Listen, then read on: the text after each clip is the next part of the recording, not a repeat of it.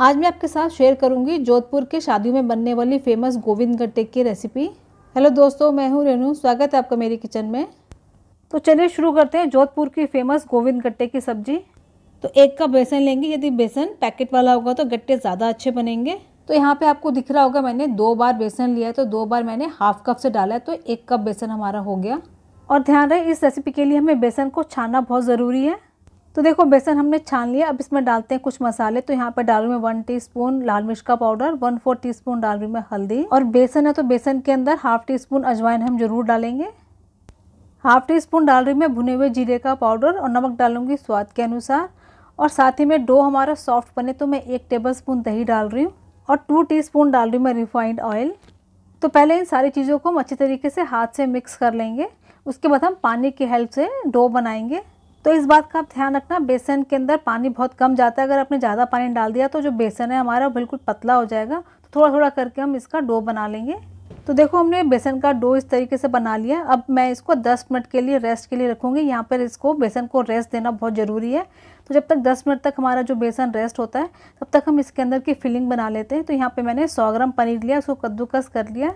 अब इस फीलिंग को हमें और भी टेस्टी और मज़ेदार बनाना है तो यहाँ पे डाल रही हूँ मैं एक टेबल स्पून ड्राई फ्रूट्स हैं तो यहाँ पे काजू बादाम है तो चार पाँच काजू लिए और चार पाँच ही बादाम लिए बारीक टुकड़ों के अंदर कट कर लिए हाफ़ टी स्पून काली मिर्च का पाउडर डालेंगे और एक हरी मिर्च को बारीक कट करके डाला है हमने।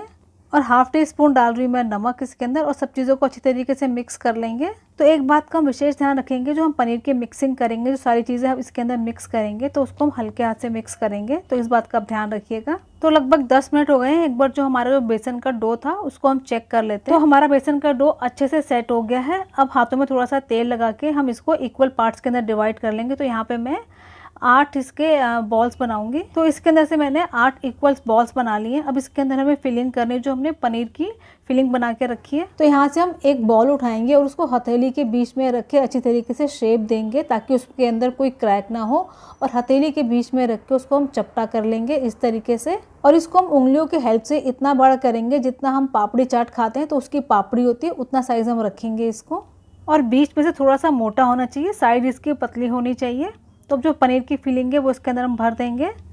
और फिलिंग भरने के बाद इसको अच्छी तरीके से पैक कर देंगे ताकि कहीं से भी इसके अंदर कोई क्रैक ना हो। और हम बिल्कुल स्मूथ और चिकनी बॉल बना लेंगे। तो इस तरीके से हम सारी बॉल्स को बना लेंगे। ध्यान रहे, हमारी बॉल के अंदर कोई क्रैक नहीं होना चाहिए, एकदम चिकनी बॉल होनी चाहिए। तो फ्रेंड्स यहाँ पे मैं एक बात और आपको बताती चलूँ, जो हमने यहाँ पे पनीर की फिलिंग जो बनाई है, उसमें से हम दो चम्मच के करीब फिलिंग को बचा के रखेंगे। उसका यूज़ हम सब्ज़ी के अंदर करेंगे।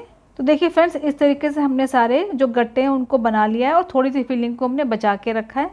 तो अब बारी है गट्टे को बॉईल करने की। तो यहाँ पे मैंने एक पैन के अंदर तीन कप पानी लिया है। जब उसके अंदर बॉयल आ जाएगा, तब इसके अंदर हम डालेंगे गट्टे अपने। तो देखिए पानी के अंदर बॉईल आ गया। अब इसके अंदर हम डाल देते हैं गट्टे और हल्के हाथों से डालेंगे। और गट्टे बॉईल करते समय गैस मीडियम पे रहेगी हमारी। और इन गट्टों को मीडियम फ्लेम के ऊपर हम बॉईल कर लेंगे। और आप एक बात का विशेष ध्यान रखना, जब हम गट्टे डालेंगे तो तुरंत ही इसको हमें झारे से नहीं चलाना है, नहीं तो गट्टे चिपक जाएँगे और फट जाएँगे, इसके अंदर से फीलिंग बाहर आ जाएगी। तो लगभग इसको हमको बॉईल करने में सात से आठ मिनट का टाइम लगेगा और इसको हम पहचानेंगे कैसे कि गट्टे हमारे बॉयल हो गए तो गट्टे जब हमारे बॉयल हो जाएँगे, तब ये ऊपर भी आ जाएँगे और इनके ऊपर छोटे छोटे दाने होते हैं, वो भी आपको दिखाई देने लग जाएँगे। इसका मतलब हमारे गट्टे बॉयल हो चुके हैं। गट्टों को हम बीच बीच में चलाते रहेंगे और उनको ऊपर नीचे करते रहेंगे ताकि सारे गट्टे एक समान हमारे पकें। जब गट्टे बॉईल हो जाएँगे तो पानी के ऊपर आ जाएँगे। तो उसके बाद हमें दो मिनट तक गट्टों को और बॉईल करना है। तो देखिए फ्रेंड्स हमारे गट्टे अच्छी तरीके से परफेक्ट और बढ़िया से उबल गए हैं। इनको हम प्लेट में निकाल लेते हैं। और प्लेट में निकालने के बाद इन्हें हमें कम से कम पंद्रह मिनट तक ठंडा करना है, पंखे के नीचे रख के। और ये आप गट्टों का पानी देख रहे हैं, इसको हमें फेंकना नहीं है। जब हम सब्ज़ी बनाएँगे तो इसी पानी का यूज़ करेंगे। तो लगभग 20 मिनट हो गए हैं, हमारे गट्टे अच्छे से ठंडे हो गए हैं, चिपक भी नहीं रहे हैं। अब इनको हम फ्राई करते हैं। गट्टों को हमें शैलो फ्राई करना है तो तेल हमारा बहुत गर्म नहीं होना चाहिए, मीडियम होना चाहिए। तो देखिए, हमारा तेल गर्म हो गया। अब हम इन गट्टों को डाल के फ्राई कर लेते हैं। और गट्टों को हम ऐसे ऊपर नीचे करते रहेंगे और इनको हम फ्राई कर लेंगे। तो देखिए, हमारे गट्टों का कलर कितना प्यारा सा आ गया। इनको हम बाहर निकाल लेते हैं। तो अब हम बनाएँगे इन गट्टों के लिए ग्रेवी तो ग्रेवी के अंदर जो मसाले जाएँगे, वो हम देख लेते हैं कौन कौन से जाएँगे। तो एक कटोरी में ले रही हूँ मैं एक टेबल स्पून घर का दही। तो उसके अंदर मैं डाल रही हूँ दो चम्मच धनिया पाउडर हाफ़ टी स्पून डालूँगी हल्दी और एक चम्मच डाल रही हूँ मैं कश्मीरी मिर्च का पाउडर और नॉर्मल मिर्च का पाउडर। दोनों मिर्च वो मैंने आधा आधा चम्मच लिया इनको अच्छी तरीके से मिक्स कर लेंगे। तो अब बनाएँगे ग्रेवी तो कढ़ाई के अंदर मैंने जिसमें हमने गट्टे फ्राई करे थे, वही वाला तेल ले लिया। तो थ्री टेबल स्पून मैंने ऑयल लिया। बाकी मैंने जो एक्स्ट्रा ऑयल था, वो निकाल के अलग रख दिया। और जब तेल हल्का सा गर्म होगा, तब इस तेल के अंदर मैं डाल दूँगी साबुत खड़े मसाले। तो साबुत खड़े मसाले के अंदर मैं ले हूँ एक तेज पत्ता चार पाँच काली मिर्च, एक दालचीनी का टुकड़ा, एक बड़ी इलायची और एक साबुत लाल मिर्च है। और साथ ही मैं डाल देंगे एक छोटा चम्मच कसूरी मेथी। वो भी मसालों के साथ में अच्छी तरीके से भून जाएगी तो उसकी खुशबू और अच्छी आएगी। और साथ ही में डाल देंगे एक चम्मच जीरा। जब साबुत मसालों की भुनने की अच्छे से खुशबू आने लगेगी, तब हम डालेंगे इसके अंदर एक कटोरी प्याज जिसको हमने चॉपर के अंदर चॉप करके डाला है। हम प्याज को भून लेंगे और जब प्याज हमारा आधा भुन जाएगा, यहाँ पर आधा भुनने से मतलब जब प्याज हमारा पिंकिश कलर का हो जाएगा, तब इसके अंदर हम डाल देंगे एक टीस्पून अदरक और एक टीस्पून लहसुन है। इसको भी हम प्याज के साथ में भून लेंगे। जब हमारा प्याज थोड़ा सा गोल्डन ब्राउन कलर का हो जाएगा, तब इसके अंदर हम डालेंगे दो टमाटर की प्यूरी और टमाटर डालने के बाद तुरंत ही मैं डाल दूँगी इसके अंदर स्वाद के अनुसार नमक। तो जो यहाँ पे हमने नमक डाला है, वो टमाटर को थोड़ा गलने में हेल्प करेगा।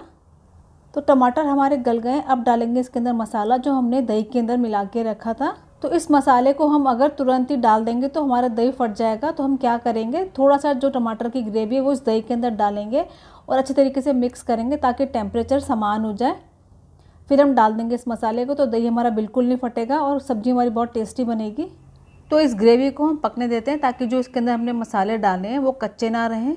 तो फ्रेंड्स, हमारी ग्रेवी पक गई है, आप देख पा रहे होंगे, ग्रेवी ने तेल छोड़ दिया साइडों से। अब इसके अंदर हम डालेंगे जो गट्टों का पानी था।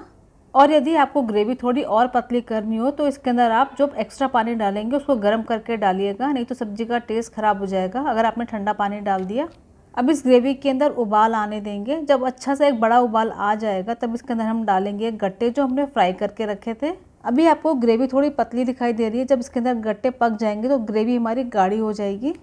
और जब सारे गट्टे हम डाल देंगे, तब इस ग्रेवी को हम ढक के पकाएँगे कम से कम पाँच से सात मिनट के लिए, ताकि गट्टे भी हमारे इस ग्रेवी के अंदर सॉफ्ट हो जाए। तो लगभग दो तीन मिनट के बाद हम बीच में एक बार ढक्कन खोल के ग्रेवी को चेक कर लेंगे। और यदि आपको ग्रेवी बहुत गाढ़ी लगती है तो आप इस स्टेज के ऊपर गर्म पानी ही डालिएगा। और अब डाल देंगे इसके अंदर जो पनीर हमने बचा के रखा था। इसको भी हम ग्रेवी के साथ थोड़ा पकने देंगे। और यदि आपको थोड़ी सी सब्ज़ी गाढ़ी पसंद है तो आप मत डालिएगा। तो देखिए फ्रेंड्स, सब्ज़ी हमारी बन के तैयार हो गई मैंने पानी नहीं डाला, हमारे लिए एकदम परफेक्ट जैसे हम खाते हैं, वैसे बनी है। अब इसके ऊपर डाल देंगे, ऊपर से हरा धनिया बारीक कटा हुआ। तो इस सब्ज़ी को आप एंजॉय करें पूरी पराठे और राइस के साथ में।